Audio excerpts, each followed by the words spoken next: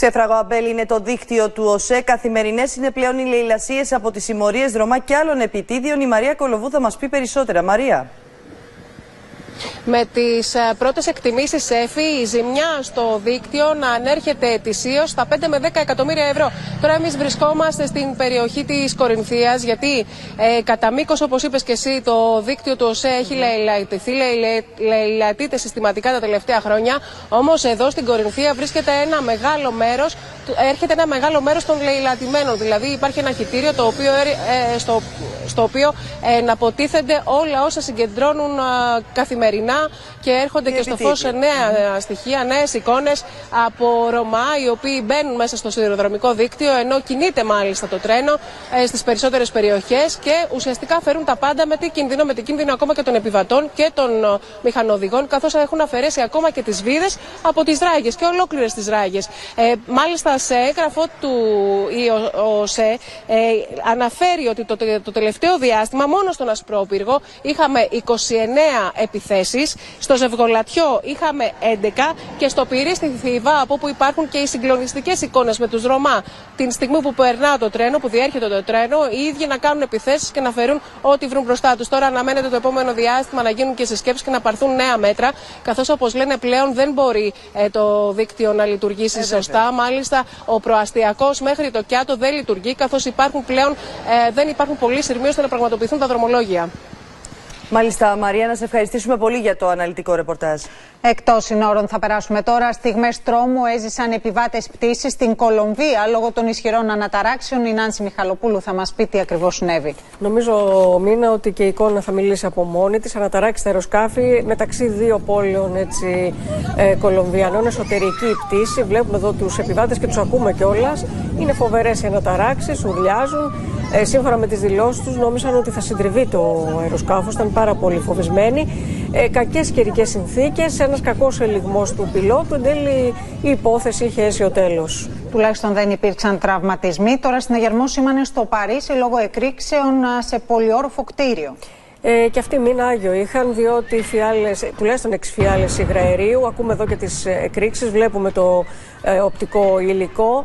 Τουλάχιστον λοιπόν έξι φιάλες στην ταράτσα του κτηρίου. Είχε κενωθεί λίγο νωρίτερα, καθώς έγινε κάτι σαν, ε, φάνηκε κάπως σαν σεισμός και γίναν κάποιες μικροεκρήξεις. Εκενώθηκε η περιοχη και τα τριγύρω κτίρια, όπως βλέπουμε. Πυκνή καπνή ε, πλαισίωσαν όλη την ε, περιοχή και όλα αυτά επειδή είχαν ε, αφαιθεί αυτές οι φιάλες υγραερίους σε κοινή θέα στην ταράτσα του κτηρίου χωρίς ειδική αποθήκευση. Μια συγκλονιστική εικόνα. Να σε ευχαριστήσουμε πολύ Νάνση Μιχαλοπούλου. Σε μια σοκαριστική τώρα υπόθεση στην Ιταλία, 23χρονη έθαψε το νεογέννητο μωρό της στο χωράφι του σπιτιού της, ενώ οι αρχές κατά την έρευνα εντόπισαν και λείψαν άλλου μωρού. Περισσότερα θα μας πει ο ανταποκριτής μας στη Ρώμη, Θεόδωρος Ανδριάδη Σιγκελάκη.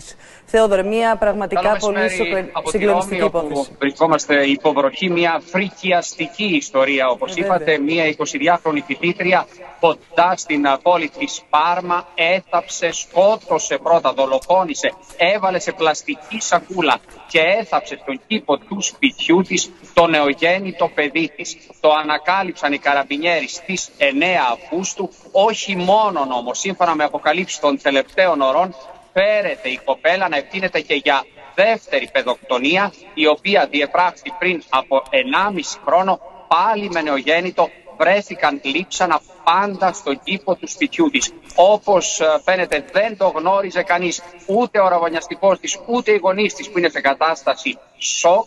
Η ίδια προσπάθησε να μην τρώει για να μην φαίνεται η κοιλιά της. Βέβαια, κάποιοι λένε μπορεί στη γειτονιά, στην ευρύτερη περιοχή, κάποιος να γνώρισε και να ειδοποίησε τους καραμπινιέρους. Μια ασύλληπτη ιστορία και βεβαίως οι έρευνες συνεχίζονται. Πραγματικά μια αδιανόητη υπόθεση, Θεόδωρη, μια, ένα οργανωμένο σχέδιο επί της ουσίας. Δεν ήθελε να φανεί ότι είναι έγκυος και με το που γεννούσε τα μωρά, όπως όλα δείχνουν και όπως φέρεται, τα σκότωνε και τα έθαβε. Ακριβώς και βεβαίως να πούμε ότι αυτό που σοκάρει περισσότερο είναι ότι ο αραβωνιαστικός της 23 ετών δήλωσε μαζί με την μητέρα του δεν ήξερα τίποτα αν το γνώριζα ασφαλώς τα παιδιά θα τα έπαιρνα και θα τα μεγάλωνα εγώ δεν θα επέτρεπα μια τέτοια φρικιαστική εξέλιξη. Ανατριχιαστικό να σε ευχαριστήσουμε πολύ για όλες τις λεπτομέρειες Θεόδωρε. Ένα συγκινητικό δώρο έκανε ο μικρός Γιάννης, το παιδί που ένωσε όλους τους φιλάθλους, τη δημοσιογράφο και παρουσιάστρια νοηματικής του Α, Σοφία Ρομπόλ. Της έστειλε για την ονομαστική της εορτή ένα βίντεο με τα πρώτα του βήματα μετά την επέμβασή του στις Ηνωμένες Πολιτείες. Είμαι σήμερα εδώ και ετοιμάζομαι να κάνω μεγάλα βήματα για την κοινωνία μου ζωή. Το είπε και το έκανε. Ο μικρός Γιάννης στέκεται όρθιος. Ένα όνειρο γίνεται πραγματικότητα. Ο μαχητής της ζωής κάνει τα πρώτα του βήματα μετά την επιτυχημένη χειρουργική εμπέβαση που έκανε στις Ηνωμένες Πολιτείες.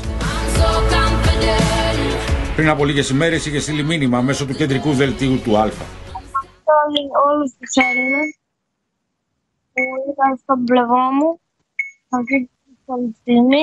Οι φυσικοθεραπείες έχουν ξεκινήσει και σε ένα βίντεο δείχνει την προσπάθεια που κάνει για να σταθεί στα πόδια του. Είναι λιοντάρι, είναι ασταμάτητος, όπως και ο τίτλος του τραγουδιού που συνοδεύει το βίντεο.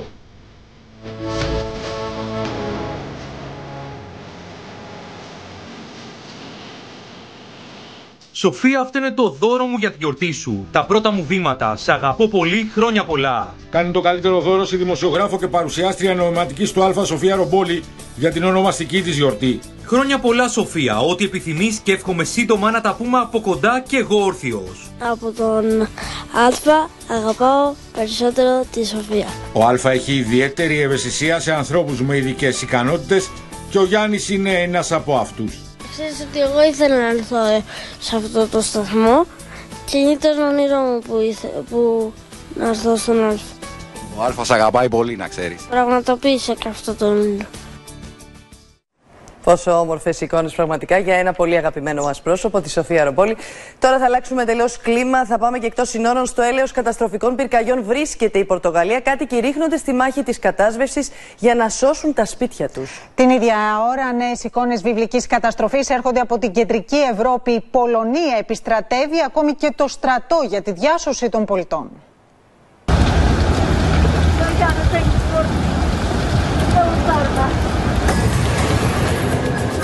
SOS εκπέμπουν οι πορτογαλικές αρχές ζητώντας βοήθεια από την Ευρώπη.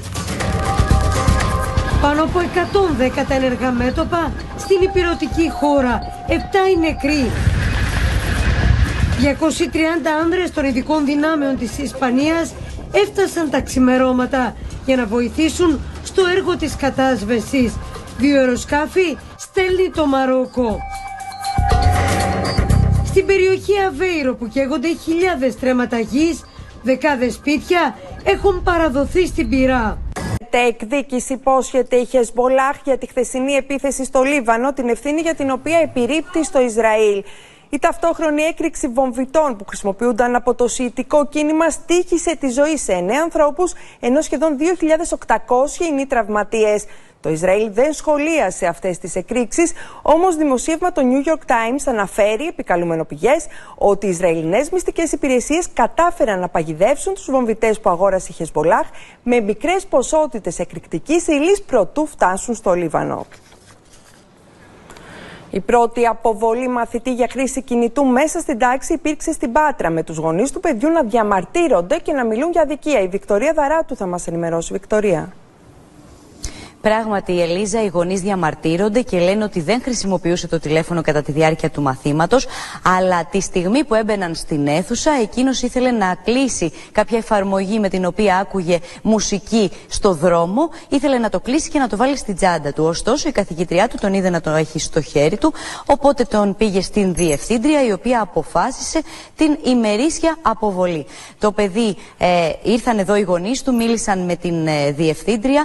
Πρέπει να σας πω ότι το το, παιδί παρέμεινε καθ' όλη τη διάρκεια της ημέρας εδώ στο σχολείο κανονικά, ενώ ε, γίνεται, ε, έχει επικοινωνήσει και η πρωτοβάθμια εκπαίδευση με το σχολείο, προκειμένου να δώσουν γραπτές εξηγήσεις για το τι ακριβώς συνέβη. Πάντως οι γονείς καταγγέλουν ότι εξάντλησε την ε, αυστηρότητά της η διευθύντρια στο παιδί. Και λόγω του περιστατικού αυτό έχει ξεκινήσει και μια μεγάλη συζήτηση για τα κινητά τηλέφωνα στο σχολείο. Βικτωρία, τώρα είχαμε και τον ξυλοδαρμό ενός γυμνασιάρχη από το πατέρα μαθητή. Τι ακριβώς συνέβη; Ένα απίστευτο περιστατικό πάλι σε γυμνάσιο της Πάτρας συνέβη χθες. Να σας πω λοιπόν ότι δύο παιδιά μάλωσαν μεταξύ τους. Ε, ο διευθυντής ενημέρωσε τους γονείς των παιδιών, στον έναν έδωσε αποβολή, ενώ στον άλλον όχι. Οι γονείς του πήγαν λοιπόν στο σχολείο, ζήτησαν να μάθουν τι συνέβη και η μία κουβέντα έφερε την άλλη με αποτέλεσμα ο πατέρας του παιδιού που δεν πήρε αποβολή να δείρει τον διευθυντή του σχολείου. Μάλιστα, ο άνθρωπος μεταφέρθηκε στο νοσοκομείο, ε, του έγιναν οι απαραίτητες εξετάσεις, δέχθηκε τις πρώτες βοήθειες, ενώ πέρασε και από ιατροδικαστή, καθώς κατέθεσε μήνυση εναντίον του 42χρονου πατέρα. Σήμερα, πάντως, στο σχολείο είχαμε κατάληψη, καθώς οι μαθητές τάχθηκαν υπέρ του γυμνασιάρχη και είπαν ότι τέτοιες σκηνές βίας δεν έχουν θέση στα σχολεία μας. Ένα απίστευτο περιστατικό, Βικτωρία, και λογικό να υπάρχουν αντιδράσεις. Να σε ευχαριστήσω πολύ για τις πληροφορίες. Εντολή, κυρίες και κύριοι, για αυξημένη επαγρύπνηση δίνει στους εισαγγελείς όλης της χώρας η εισαγγελία του Αριουπάγου αναφορικά με τις παράνομες γεωτρήσεις αλλά και την ανεξέλεγκτη λήψη υδατό από νόμιμες γεωτρήσεις. Στο έγγραφο της εισαγγελίας επισημαίνεται ότι είναι αυτονόητο ότι πρέπει να διώκεται αυτεπάγγελτα η αυθαίρετη επέμβαση στα δίκτυα ίδρυυση και άρδευσης των οργανισμών τοπικής αυτοδιοίκησης την άποψη ότι ο Στέφανος Κασελάκης δεν έχει θέση στο ΣΥΡΙΖΑ, εξέφρασε σήμερα η βουλευτής του κόμματος Όλγα Γεροβασίλη. Επειδή δεν του αρέσει το αποτέλεσμα της Κεντρικής Επιτροπής, πρόσθεσε, έφτασε στο σημείο να μιλήσει για κουκούλες. Σε ερώτηση για το εάν η ίδια θα είναι υποψήφια πρόεδρος, απάντησε πως σύντομα θα λάβει την τελική απόφασή της. Η πολιτική γραμματεία που συνεδρίασε χθες αποφάσισε να τεθούν δύο ώροι για όσους θα είναι υποψήφιοι πρόεδροι. Πρώτον, να καταθέσουν πλήρες ποθενέσχε και δεύτερον, να μην έχουν οφειλές στο δημόσιο. Τις τελικές αποφάσεις θα λάβει το Σάββατο η Κεντρική Επιτροπή. Ληστεία σε βάρος δύο νεαρών σημειώθηκε χθες το βράδυ στο σταθμό του Μετρό Αγία Μαρίνα στο Εγάλε. Ο Πέτρος Καρσιώτης θα μας πει περισσότερα με τρεις ε, δράστες ε, λίγο πριν τα μεσάνυχτα. Δύο νεαροί ηλικίας 21 ε, χρόνων βρίσκονταν έξω από το σταθμό Αγία Μαρίνα του Εγάλε όταν τους πλησίασαν, σύμφωνα με όσα κατέθεσαν στην αστυνομία, τρεις άγνωστοι, οι οποίοι με απειλή μαχαιριών και χτυπήματα τους άρπαξαν, τράβηξαν από το λαιμό τους τις χρυσές αλυσίδες, τους αφαίρεσαν και διάφορα άλλα αντικείμενα και ε, διέφυγαν ελαφρά τραυματισμένοι, δέχτηκαν τις πρώτες βοήθειες. Προσπαθεί η αστυνομία να εντοπίσει τους ε, τρεις δράστες πριν επαναληφθεί αυτό το κρούσμα. Πέτρο, είχαμε όμως και δύο περιστατικά με πυροβολισμούς. Το τελευταίο, Ελίζα, κυρίες και κύριοι, συντεύει, καταγράφηκε στον ε, Κεραμικό στις 10 και 20 σήμερα το πρωί. Τρεις άγνωστοι πυροβόλησαν έναν 36χρονο στα πόδια, ε, με αποτέλεσμα να το τραυματίσουν. Έχει μεταφερθεί, αλβανικής καταγωγής ο τραυματίας, έχει μεταφερθεί στο νοσοκομείο Γεννηματάς, όπου ε, υπευλήθησε επέμβαση στο, ε, στο, στο σημείο του τραύματος.